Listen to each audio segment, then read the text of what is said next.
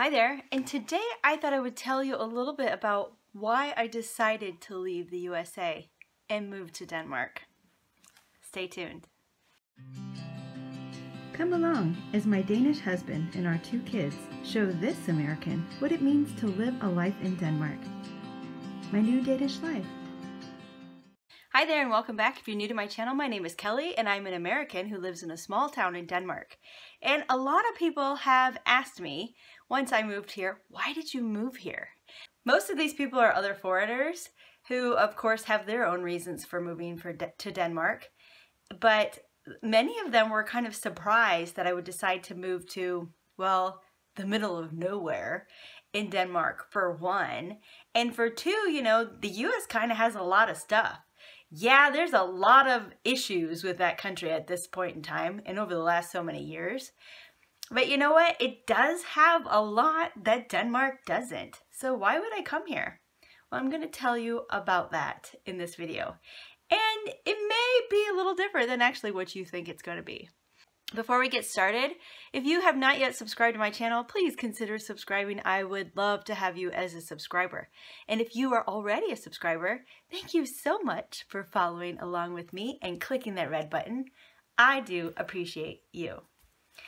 Now, as I mentioned before, I live kind of in the middle of nowhere. And I say that with all the love in the world because I don't hate where I live. Honestly, I don't. I live in a small town. I don't live in a village. Denmark is filled with villages where people pretty much have a bus stop and that's it, and they're surrounded by fields.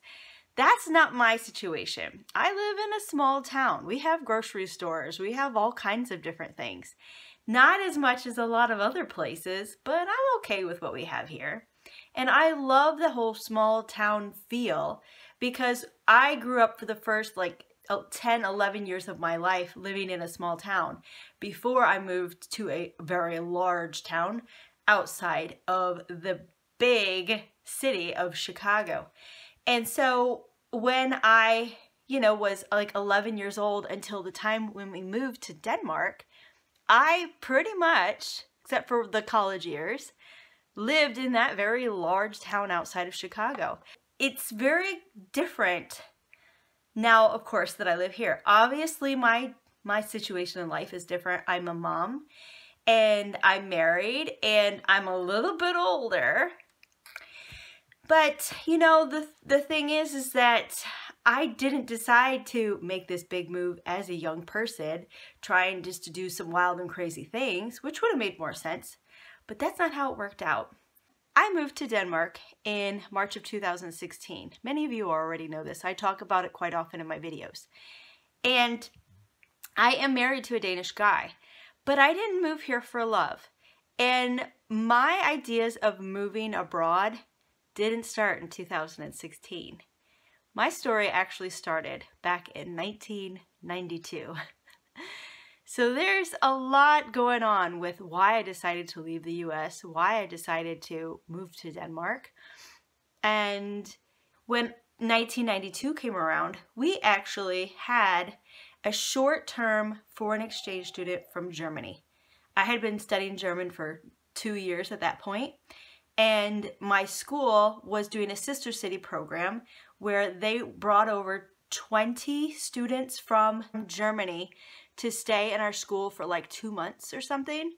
And I knew that my parents would never go for the idea of a foreign exchange student in our house normally. This idea came about, I thought maybe my parents would be really interested in it because I was so interested in it. I was learning German. I was so excited to meet somebody who is actually German.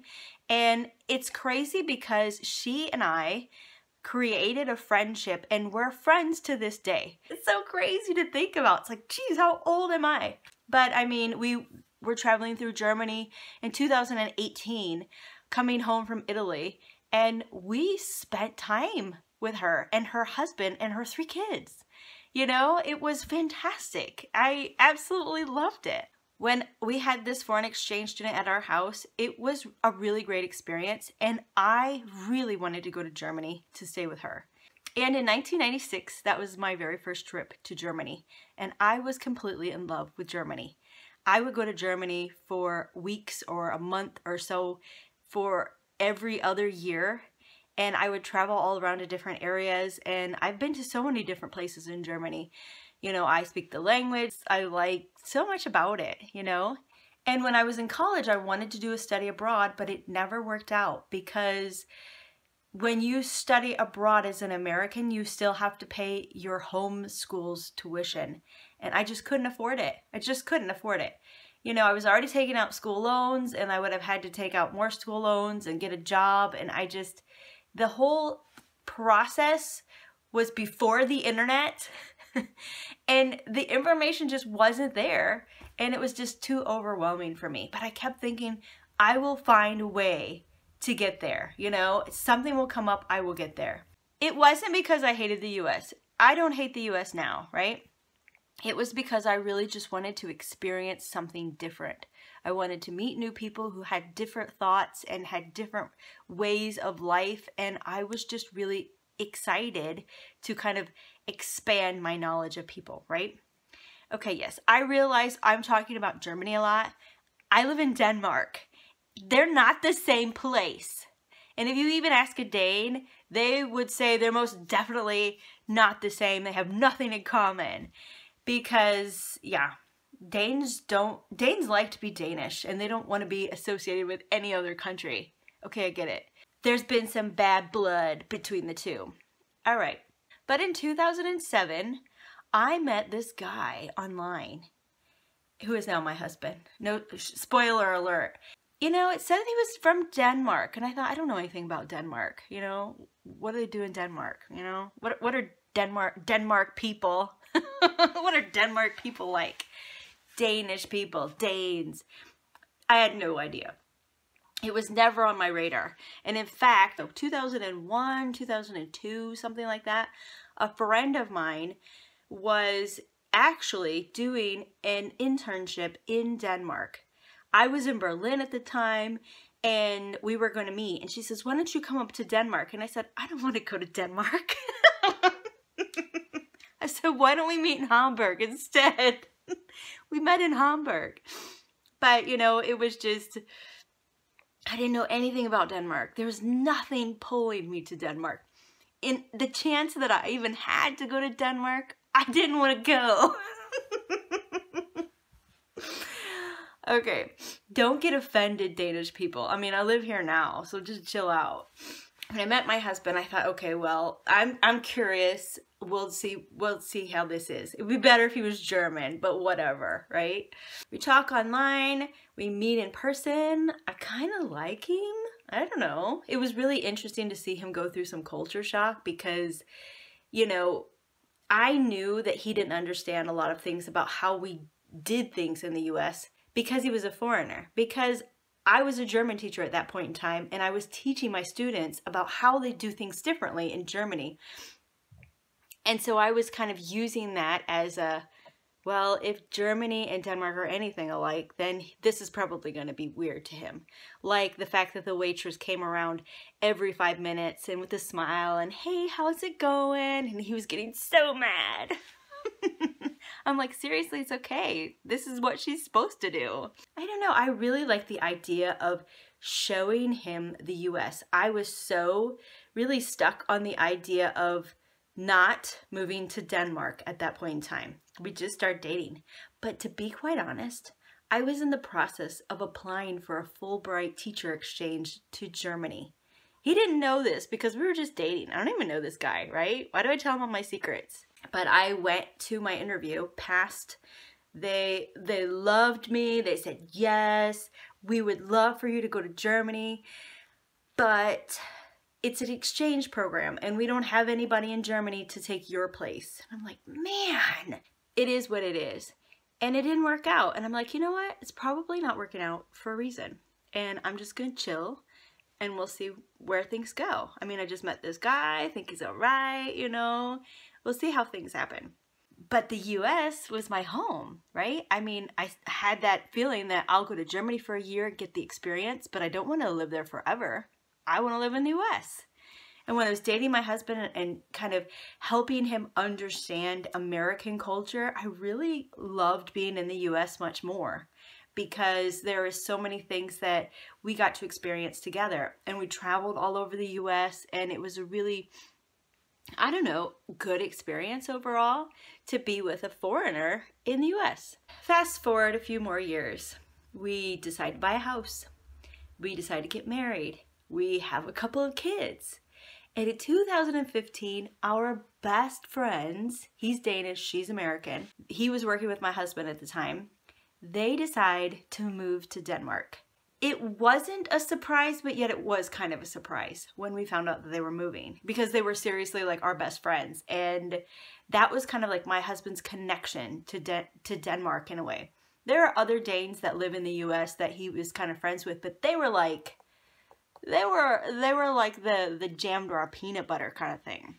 And so they moved. And it's so funny because the day that they moved, we went out and bought a camper. and I'm not talking no, you know, used camper. I'm talking a brand new camper. We're staying in this country. This is our home. And it was funny, I even told her that. I said, we have no plans on moving to Denmark. We just bought a camper. And we were going to have this fantastic summer, which we did camping around in different states in the US and it was fantastic. Yeah, I could just see our future being in our nice neighborhood with our nice neighbors and having our nice jobs with now two kids and a camper, you know, and it was just a really comfortable life and things just were wonderful. I mean, I was in the best shape of my life, feeling fantastic. You know, what more could I need? It is so crazy because we didn't even put our camper away for the winter. We still had a camping trip left to go. But my husband went on a business trip to like India or somewhere for a week. And the night before he left, he told me, you know, there's a job opening in Denmark and I think I'm going to apply. I think I had the deer with the headlight look. I was completely shocked because mentally, physically, emotionally, I didn't want to leave the US yeah, we talked about it. You know, the idea that it would be great if our kids could learn what it means to be Danish because my husband didn't speak to them in Danish. They didn't really know anything about Danish cultures, customs, really nothing because, I mean, to be quite honest, he just did a crappy job about showing his Danishness to the world. The only thing we had was Christmas Eve with the, you know, pork and potatoes and brown sauce and risalamande. That was about it. I thought, you know what? My children should know what it means to be Danish. He might get a job, he might not. I'm not going to worry about it. We'll figure it out later. And I tried to prep ourselves by downsizing, but in reality, things were so good for us in the US. I really had no reason to move. He had no reason to move. He just wanted to try something different. And I know there's a lot of women out there, men too perhaps, who meet a Dane and then they move to Denmark because that Dane somehow sucks them back over to the homeland. And you're just like, geez, how'd that happen? You know, we were living in this other country for so long. How do we get to Denmark? What? I, I didn't move here for love. My guy stayed in the US for love for me. But he chose that, you know? We lived in the US together for nine years and things were great. And then when he found this job, went through the whole process, it took a few months. We went to Denmark for Christmas. He had an interview and he got the job. I think it's that same old story of you would do something for your your spouse, your husband, your wife. If it's his dream job, I'm not going to say no and I, I, no, we're staying in the USA. I I don't want to, you know, be like that. I mean, we came to Denmark quite a few times before we moved here.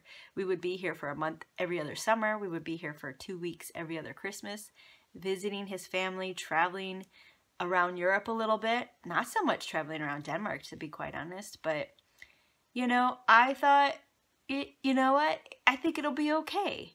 I had always wanted to move to Germany, you know, but the thing is, is that I really wanted to move to Germany. My situation as a young person wanting to move to a place was probably a lot different than the reality of me being in my late 30s and not really wanting to leave. I knew it would be a really great opportunity that not everybody could have, and I'm sure there would be a lot of benefits, but I was never the type of person that said, let me learn everything about Denmark so I know exactly why I want to move there. I really gained a good understanding of the benefits of living in Denmark, but I moved because there was an opportunity here, and it's crazy to think about because I didn't have a job lined up. I had no idea what I was going to do. But being a teacher, you you know, you've always heard of people teaching in other countries and I thought I could probably do that. And that's what I did. I got a job as a teacher. It just all seemed to work out. and then I went back to school. What? Why did I leave the USA? Long story short, my husband got a job in Denmark you know, it's just a different experience. And I'm really glad that my kids have had the experience of living in two countries and are completely bilingual and, you know, now working on even learning another language. So it's it's quite interesting. I think I as a child would have loved that opportunity, but it's kind of wasted on them because they're kind of like, eh. Mom, we just want to stay at home and watch TV, play on our trampoline. What about you? Have you moved anywhere? Are you an expat watching and you moved to another country? Let me know about that. Or are you a Dane and pretty much li have lived in the same place your entire life? What has made you want to stay where you're at and not move? I'm pretty curious about that because in the US people move all the time. But in Denmark, I think people kind of stay put for the most part. I'm really curious to know what you guys have to say. And if you have any questions about my move to Denmark or things we did to prepare to move to Denmark or things that happened after the move or whatever, please put them in the comments below. I would love to answer any of your questions. Thanks for coming along on this video. If you haven't subscribed to my channel, please do so now. And also, if you have not yet checked out my blog where I talk about all the great places we go to in Denmark, as well as all of my crazy expat experiences after moving here, check the link to go to my new Danish life and I will see you over there. Have a good one everyone and take care.